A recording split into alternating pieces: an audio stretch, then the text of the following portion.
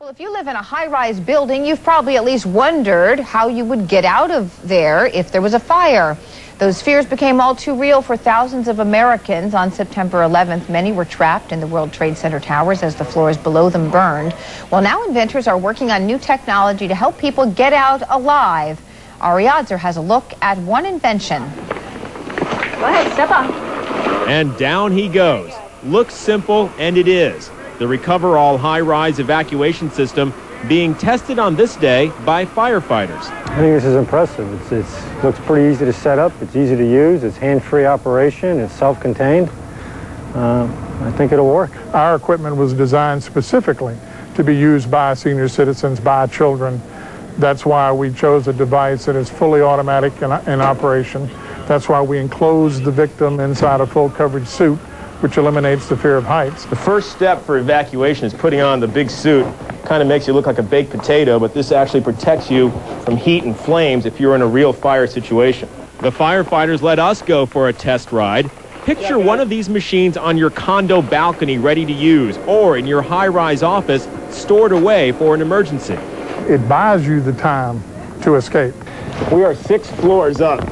Once you push back and let go, the machine lowers you gently to the ground at the rate of three feet per second. The ride is smooth all the way down. You never speed up, you never slow down. It keeps you at that same rate all the way down to the ground. So the obvious question on everyone's mind is, would this system have made any difference in the World Trade Center disaster? My personal opinion is this would have saved some people up there, absolutely. This cable, they said, is effective up to a 1,000 feet. That's 100 floors. Lieutenant Mike Nugent was there, part of the South Florida rescue team working at Ground Zero, part of a team that discovered five dead firefighters in the rubble. We took it and we made it positive because we were able to find five people. That means that their family has a closure now. Nugent says he's haunted by the video and pictures thinking of all the people trapped by fire in those buildings. All right, tuck your feet underneath. Right. Equipment like this could have made a difference in New York, not enough to save everyone, but probably enough to save a few hundred lives. In Davie, Ari Odzer, NBC6. The Recoverall suits are manufactured of heavy-duty aramid fiber, the same fiber used to protect firefighters, race car drivers, and astronauts from flames and heat. The suits are oversized to fully enclose the user, protecting them from heat, smoke, and flames.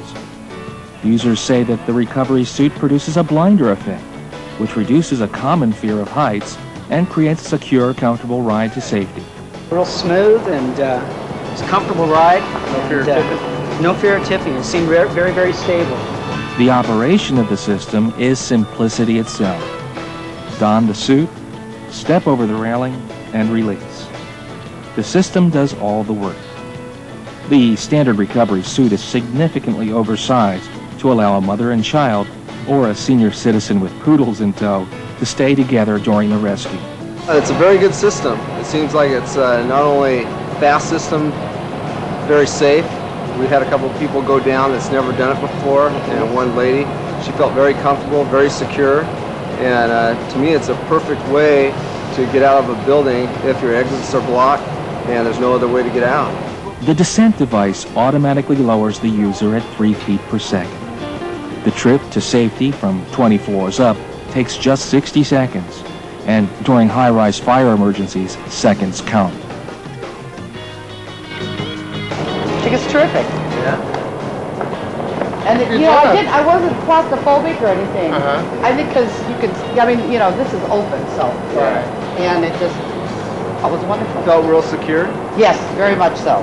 There's absolutely no sense of being at height. I mean, you just you just don't feel like you're up high in the air. I think the fact that you're completely cocooned, that you can't see out, also uh, helps and, and make, just makes it a lot more comfortable in, in, coming down because you don't have that that fear of falling. You feel very secure, and uh, it was a it was a fun trip save you from a burning building. But what does this new, possibly life-saving device have to do with a big pair of oversized overalls? This is a story you'll see only on NBC6, and Julia Yarbough has it for us. 1991, a 12-story high-rise goes up in flames in Manhattan. 1997, fire crews rush to a Miami Beach tower housing hundreds. In Oakland Park, flames rip through a condo. Residents are forced to evacuate.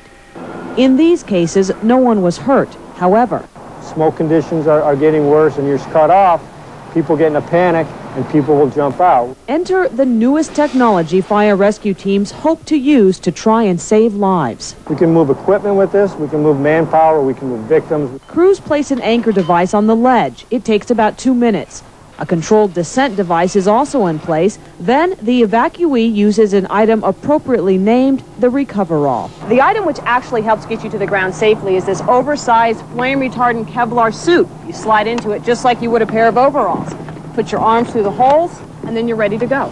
This makes rescue operations easier to do because it can be accomplished with less manpower. But it's a very smooth ride down. Robert Kirkland came up with this idea after his own brother was trapped in a burning high rise. Typical ladder trucks uh, are effective up to about seven or eight floors in a building.